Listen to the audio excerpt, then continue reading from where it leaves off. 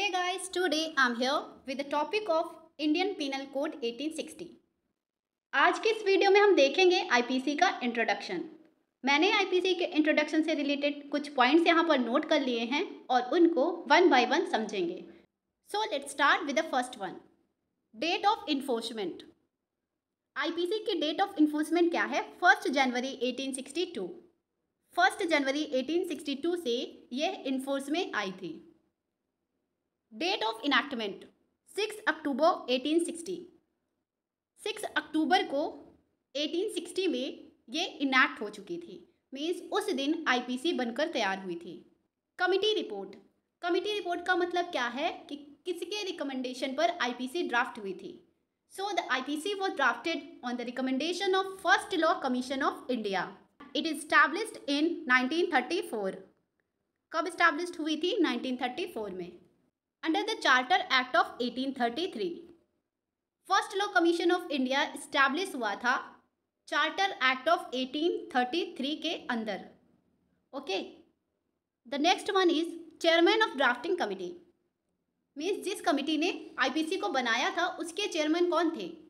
So, उसके chairman थे lord Macaulay lord Macaulay was the chairman of drafting committee next one is territorial extent means IPC कहाँ तक extend करता है? इसका जुरिस्डिक्शन क्या है? सो इंडिया आईपीसी एक्सटेंड करती है सिर्फ़ इंडिया तक okay branch of law means ये पब्लिक लॉ है या फिर private law so IPC is a public law total number of sections and chapters under IPC so sections है 511 एंड चैप्टर्स हैं 23 कॉन्स्टिट्यूशनल वैलिडिटी इसका मतलब यह है कि जो आईपीसी है, वो अपनी कॉन्स्टिट्यूशनल वैलिडिटी कहाँ से डिराइव करती है? So the answer is article thirteen clause one read with article three seventy two article thirteen clause one क्या कहता है? ये कहता है कि हमारे वहाँ जितने भी लॉज कॉन्स्टिट्यूशन के बनने से पहले फोर्स में थे, वो अगर कॉन्स्टिट्यूशन के किसी भी प्रोविज़न के इनकन्सिस्टेंट होते हैं तो वो लॉज वहाँ तक वॉइड मानेंगे जहाँ तक ये इनकन्सिस्टेंट हैं कॉन्स्टिट्यूशन के प्रोविज़न से। ओके और आर्टिकल 372 क्या कहता है? ये कहता है कि हमारे भारत देश में जितने भी लॉज कॉन्स्टिट्यूशन के कमिंसमेंट से पहले थे, वो सब वैलिड माने जाएँगे जब तक उनको अमेंड या फिर रिपेल ना किया जाए। तो आईपीसी कॉन्स्टिट्यूशनल वैलिडिटी कहाँ से डिराइव करता है? Article 13 clause one read with article 372 it is a substantive law law दो तरीके के होते हैं। एक प्रोसीजरल लॉ होते हैं एंड एक सब्सटेंटिव लॉ होते हैं। तो आईपीसी जो है वो सब्सटेंटिव लॉ है। क्यों है?